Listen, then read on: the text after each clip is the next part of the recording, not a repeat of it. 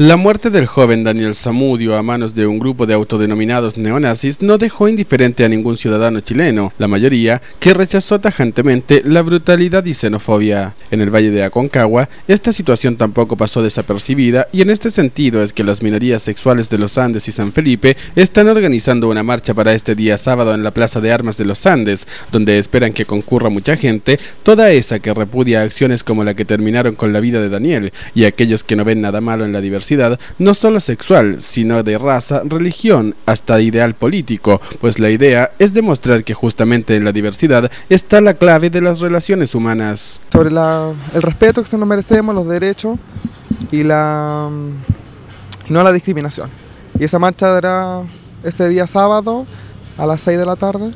acá en la plaza, donde habrán show, espectáculos,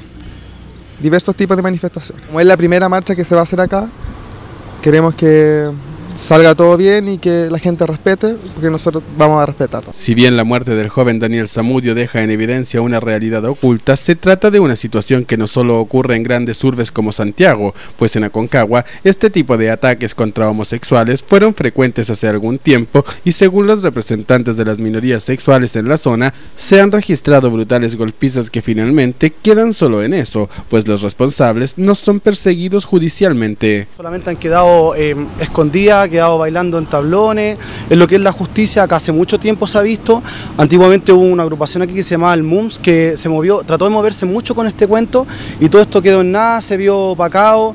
por una situación legal que hace mucho tiempo hizo noticia que los Andes, que ya no vale la pena recordar. Para esta manifestación ya están otorgados los permisos por parte de la Gobernación Provincial de los Andes, por lo que los organizadores y representantes de las minorías sexuales solo esperan convocar la mayor cantidad de personas posible. En este sentido, tanto Alejandro como Juan destacaron que con actos de estas características esperan demostrar que la comunidad gay de la zona está alzando la voz por sus derechos y la no discriminación.